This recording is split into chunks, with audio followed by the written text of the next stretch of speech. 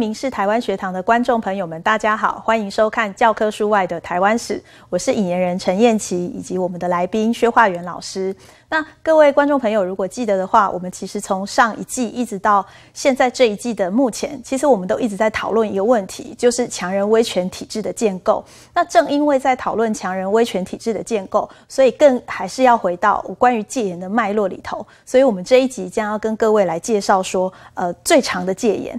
那首先呢，我们会会看到说，一九四九年的五月二十号，当台湾开始戒严的时候，一直要到一九八七年呃七月十五日来解除戒严，呃，这样算一算，其实总共大概就是三十八年的时间嘛，嗯，是二十世纪全世界最长的戒严经验。那特别是说，军情机关啊，在这一个过程当中，其实扮演着对人权的前置的角色，是造成战后台湾长期白色恐怖的最关键的一个。那老师，我们也要再来看一下，是说戒严其实是否它是跟宪法相矛盾的？那我们可以看到说，戒严其实属于呃国家面对紧急危难采采取紧急处分的一种方式。那但是呢，它又跟近代的立宪主义的自由民主体制相关的规定是矛盾的嘛？所以如果我们要来讨论戒严的话，应该是要来讨论说它戒严的合法性跟正当性。那我们除了要讨论说戒严的合法性跟正当性之外，其实还是必须要有考量，说国家到底是否处于严重的内乱，或者是有对外的危机，特别是否其实面对了强力的军事武装威胁，才能来看说这个戒严是否合法。那老师在这边呢，可不可以做一些补充呢？是，我想，呃，燕琪老师之前有谈到说，希望有一个时间可以重新再来检讨。戒严体制啊，那简单来说就是那戒严，哎的实相跟虚相，以及讲戒严是什么啊？是不是需要这样戒严？应该是我们值得我们在思考的一件事情啊。有一点必须先说明，在一个正常的宪政体制下，我规定国家紧急处分、国家紧急权。或甚至包括戒严令在内，实际上不是太奇怪的了，啊，只是因为戒严体制是一种非常体制的状态啊，呃，那这种非常体制的状态存在是否合理，是可以检讨的。我的意思说，不是说啊，因为我们是民主宪政体制下，所以就没有国家紧急权，啊，不是说因为。民主宪政体制下，所以就不能有戒严令，不是这个意思。但是民主宪政体制下，长期都处于国家紧急状态，长期都处于戒严状态啊，这样就不正常了。我想这是我们必须先说明的啦。所以当然必须去检视说，那那这样严重的一个国家紧急状态，包括戒严令的话，它的发布本身有没有合法性？合法性就程序上是合乎相关规定，这第一个啊，合乎合法性的啊，请问是有必要的吗？是否正当？啊，这也是可以再检视的，是是。那我们如果首先来看到是说，呃，关于戒严的实相跟虚相的话，第一个问题可能是问到，呃，到底戒严期间如果是犯了内乱跟外患罪，一定是受到军法的审判吗？那但是我们如果说就一九四九年的戒戒严来看，关于这些项目啊，实际上它是在戒严法中明文规定到触犯的内乱外患罪，它无论是在接战地域或是警戒地域，军事机关都可以决定是否自行审判，还是移送司法机关的审理。也就是说，主导权虽然是在军情机关，可是那并不意味着根据戒严法，只要凡是触犯内乱外患罪的政治犯，就一定由军法机关来侦讯跟审判嘛？是是，我想这个地方哈，为什么特别去提到一九四九年的戒严？大家千万不要忘记，一九四七年台湾有戒严，在过去的节目中，我们也跟大家分享过。因为这问题跟大家一般认识差太多，所以一定要做进一步的沟通才可以啊。那在一九四七年的戒严法的时候呢，哎，这个。警戒第一的戒哈，啊，这个内乱外患呢，是不移送军法审判的那一九四九年以后的戒严法，按你内乱外患罪，是由军情机关可以主导来决定是不是自己审判，还是可以移送司法机关来审判。啊，所以换句话说，不一定所有的政治犯都一定会有军法机关来侦讯审判的啊。那只是当年呢，碰巧因为有惩治判断条例。惩治判断条例规定，在戒严时间期间哈啊，触犯惩治判断条例各法的哈各项的，全部归军法审判。也就是因为这样，所以当年触落触犯内乱外患罪的嫌疑犯啊，才会几乎全部都由军法机关来征讯审判，而不是说由军情机关决定要不要送司法机关审判啊，这是。一个很重要的差别是，是那我们来看一下，就是呃这里的图表有看到，就是戒严法第八条的规定，然后跟惩治叛乱条例的第十条规定，其实都有看到是说呃。相相关的关于我们在讲说，不一定是触犯内乱或者是外患罪的政治犯，就一定由军法机关来侦讯跟审判嘛？那除了这样之外，我们在呃这个图表上面还可以观察到什么？是否是我们没有办法看到，但老师可以告诉我们的？是，我想这个地方很重要哈，请大家注意哈，这个内乱外患，根据这个惩治判案条例，在戒严期间一定是送军法审判，这我刚刚解释过了。可是有更多跟内乱外患没有关系的罪的人会被移送军法审判，实际上刚好相反，它是根据戒严法来的。譬如公共危险罪，好啊，妨害秩序罪，好啊，或者说诶伪造货币，好杀人、妨碍自由啊、抢夺、强盗跟海盗罪、恐吓跟掳人勒赎罪啊啊这匪器损坏罪等等。不过你注意哦，浙江又有个差别，呃，为什么？上面只要是在接战地域，也就是实际上面临战争直接的威胁掉，这全部都可以根据戒严法，可以由军法机关审判。请注意，我们可以不是一定哈。但是相对警戒地域呢就不一样了，有好几项哈，很清楚看到他是没有在军法审判的可能范围内。譬如说啊，第五项。就有伪造货币的问题啊，第六项杀人罪，第七项哎妨碍自由罪啊，这些就不属于在军法机关可不可以裁量有军法审判范围，这个是不一样的地方了哈啊，所以从这地方我们必须注意一件事情，就是说啊，戒严法之下，军法机关可以审判的犯罪项目。比惩治判案条例的范围要大，OK，但是有一些罪全部被移送军法审判的原因，那是是因为惩治判案条例。往这个地方应该做一个做一个区隔，我这样比较清楚了。是那这一张表呢，我们是来看戒严法第八条跟惩治叛乱条例的第十条规定。那下一张图表的话，我们将要看到的是一九四八年以前的戒严法第九条跟一九四九年以后的戒严法第八条的比较嘛。那同样的，在这两栏之中，老师可以给我们解读一些什么讯息呢？你你看这边很清楚哈，只要你注意到它的接战地域下有没有？哎，是类似的，什么地方不一样？在一九四九年以后的部分，你看呢，他就讲到了这个警戒第一呢啊，在一九四八年以前的戒严法这边是没有的，所以差距就在这里。所以为什么之前讲到说，在二二八事件期间啊，受到军法审判这些人，基本上纯就戒严法而言也是有瑕疵的，因为根据戒严法，这些人不应该受军法审判。好，我想这个地方要说明清楚。是，那我们接下来来看的是一九四九年以后戒严令的展开。那首先呢，我们会提到说一九五七年的关于刘自然事件这边。那呃，刘自然事件，等一下请老师再帮我们多做补充。那第二个例子呢，是说一九六零年的时候，雷震案的部分，雷震的夫人宋英，其实他有根据提审法来要求雷震必须要移送司法机关的审判。可是当时候的警备司令部直接在以说，台湾在一九四九年的五月二十号已经进入了戒严，可由军法机关判，而不适用提审法的规定嘛？那在这里啊，提审法的意思，老师可能也跟我们。再做一下介绍。是这里面呃提到问题，简单来说了哈。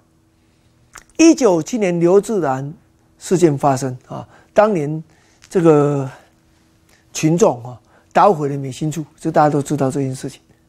有趣就在这里，不要忘记一九七年是戒严的，本来就戒严的。可是刘志然事件发生之后，发布戒严令，台北宵禁，这忽然就觉得。戒严之下再发布戒严令的意思是什么？这这在过去大家比较少检讨了。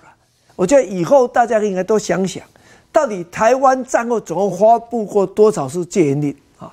呃，在目前的研究里面，我们看起来有一些戒严令项目的修改啊，甚至用密件发放。密件发放就是没有人知道了，不让人民知道。为什么？因为这里面有牵涉到我们今天要讨论到的这个戒严令。的规定有没有瑕疵？啊，有没有违法？啊，有一个学生问过我说：“请问戒严令怎么违法？戒严令就是一定跟戒严体跟那个宪政体制不一样嘛？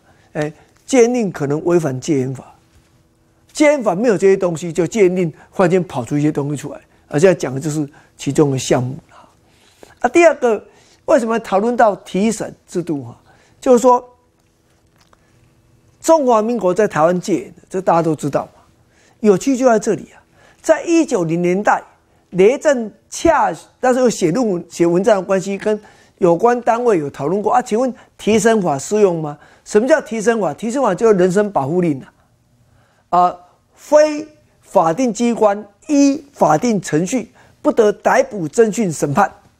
OK 啊，雷震是平民嘛，所以。他被逮捕之后，他太太宋英是监察委员，就说：“哎，提审法规定不是应该要移送司法审判吗？所以要求把雷震给提审了。”啊，刚刚叶吉老师就说：“呃，警备总司令部都说不对呀，台湾在一九四九年五月二十号已经戒严了啊，啊，戒严时候，呃，这个叛乱罪，呃，是可以由军法机关审判的啊，不适用于提审法。问题是有趣的是。”总统也发表声明了，啊啊！这总统发表声明跟这有什么不一样？就是实际上总统发表声明，就是我们之前提到的，他讲的是一九四九年十二月二十八号那个戒严令，那个戒严令在一九五零年啊，由这个东南军政长官公署哈啊台湾省政府啊，后来呢，呃。没有断案今天讲完公署，那还是因为立法院宣布追认了。你不要问为什么追认，这追认很奇怪。呃，这立法院就觉得说，你虽然要被查就要追认，那就追认了，对不对？追认以后再发布一次，所以他的鉴定是发布很多次。啊，问题这个地方有什么不一样？就一九四九年十二月二十八号的戒严令是接战第一的戒严，一九四九年五月二十号戒严是。警戒第一的戒，刚刚我讲演讲时已经跟大家讲，你注意看呢，适用的法条跟相关的规定是不一样的。在老师的说明之下，大家会听到说，哎，戒严令不是一九四九的五月二十吗？那怎么还会出现一个一九四九的十二月二十八号发布的？所以这个戒严令难道有两个不同的戒严令吗？那到底？接战地域的跟警戒地域的戒严令不同，是哪里有所不同呢？我们休息一下，马上回来。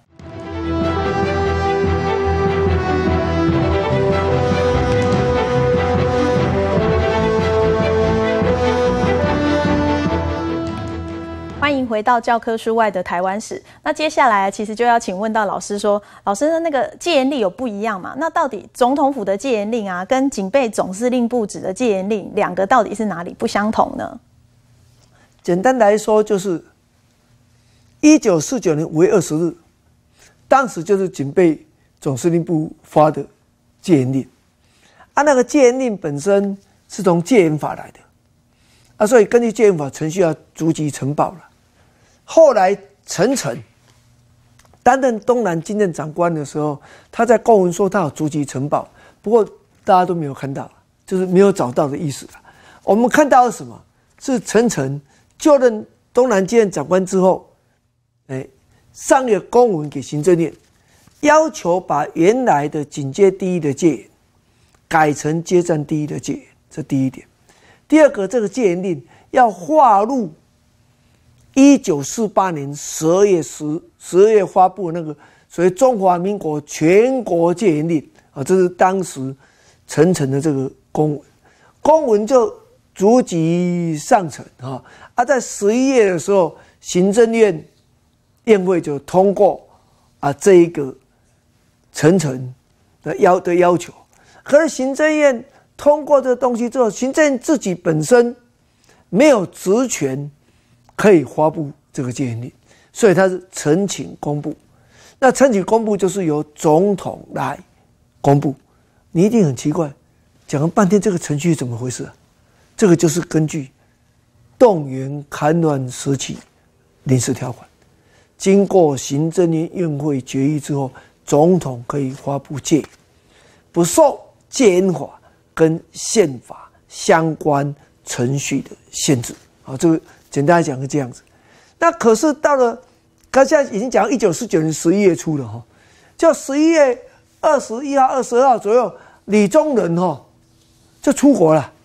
那出国的时候，那时候中华民国的总统蒋介石本来早就下野了啦，代总统李宗仁出国了。那依照宪法的规定，就行政院长阎锡山。代行总统职权那叶锡山就哎，那这个时候他不原来不是申请公布吗？啊，既然这样，他就哎，那个发公文给立法院，我跟他说，哎，请你备查，我要公布了哈，大概大概是这样子。希望我是觉得他是想取得更多呃正当性的基础了哈。啊，大家知道在风雨飘摇之间，立法院也没有处理了，等到十二月七号。行政院下令，中华民国政府迁到台北。十二月九号，行政院在台北举行第一次院会啊，这是中央中华民国政府中央政府在台湾统治的开始。这时候，代行总统职权的阎锡山，他就在十月二十八号发函。通知国防部，通知东南经任长官。你要记得，东南经任长官公司提出这个要求的。通知他说：“好，你说清准了，副本给了台湾省政府。”啊，那东南经任长官公署收到之后，他一边发布登在报纸上，一边他也通知台湾省政府。有趣就在这里，现在看到公文里面，台湾省政府啊，是根据阎锡山的副本就把它办了。就公告了，所以这是当时发生的一件事情啊。那省政府刚刚讲，他的他公布的是，呃，在省政府公报通知各单位。不过他根据的是刚刚前面那延续上那个公文，不是根据东南军政长官下令的公文，这是一个。所以换句话说，这就是当时的一个戒严。那它的程序是什么？它的程序就是。动员戡乱时期临时条款所规定的程序，哎，不是宪法，也不是戒严法啊，这是清楚的。那有趣就在这里啊，所以阎锡山的身份是什么啊？你就发现他是行政院长兼行代行总统职权，所以，哎，形式上来讲是有一定的合法性的，是。是，那这样听老师的说明啊，总统府基本上是跟高等法院了解的戒严比较比较相似。对，根据苏瑞昌老师的研究，其实有发现说，呃，总统总统府的秘书长张群，他其实宣称说，呃，三十九年，也就是我们刚刚提到的一九五零年的时候，呃，总统命令了宣布台湾为接战地区，来实施戒严法，均有其法律依据。也就是说，高等法院去驳回宋英要求提审雷震时，也指出台湾省之一并化作接战地域实施戒严。那至今呃，且经立法院的会议追认有案。也就是说，根据张群或者是高等法院的见解，战后长期实施的其实是呃。一九五零年颁布的把台湾划归为接战地域的戒严令，而不是把台湾划归为呃警戒地域的戒严令。是这个地方说清楚了，在一九零年颁布的意思，你我我再重复一遍啊。阎锡山发布是一九四九年十二月二十八号，啊，等到他下令哈，最后到了登在报纸上的时候是一九五零年一月了，好啊，接下来呢，因为立法院居然又追认一次嘛。追了一次，立法院就发公文给行政院，这时候行政院长就是陈诚，所以陈诚又下令又公布了一次，好是是这样的一个脉络了，是是，那也就是说啊，这个其实戒严令是不一样的。一九五零年的戒严令和一九四九年五月二十号的戒严令最大的不同之处，其实是一九四九年的五月二十号是根据戒严法由台湾。警备总司令兼台湾省主席陈诚发布的临时戒严，所以他在戒严的性质上是属于警戒地域。可是总统府提到的戒严是属于接战地域，也就是说，呃，即便一样都叫做戒严，可是呃，警戒地域跟接战地域的戒严在法律的适用上是有相当程度的不同嘛？实际上更有趣的是，一九四九年五月二十号不是发布戒严令吗？这所以层层同时公布犯了什么什么罪，什么什么罪一堆的话，这些罪是要处死刑的。可是呢，找不到依据，依法处死刑不知道依什么法。所以后来行政院本身对这个也有检讨了。所以台湾的戒严的状况远比我们想象的复杂。啊啊！行政院既然知道检讨怎么办？不知道怎么办呢？然后先不改吗？先不改，那之前颁布不全部都违法怎么办？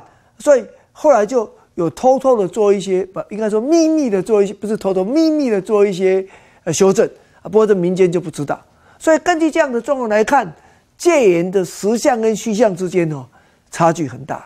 从什么时候开始戒严啊？这而且戒什么样的戒严，这意义不一样嘛。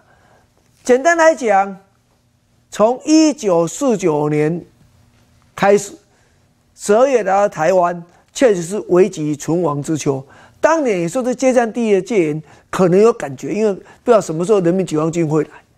到了一九五零年六月，寒战爆发，第七舰队进入台湾海峡以后，所有的军事的冲突都发生在中国大陆的沿海，而且中华民国的空军还不包括美国协防的力量，后来协防就是共同防御条约以后的协防力量。根本就拥有台湾海峡的空优权，这个状况之下，台湾长期实施接战地的戒严，有正当性吗？我觉得值得大家重新再来思考。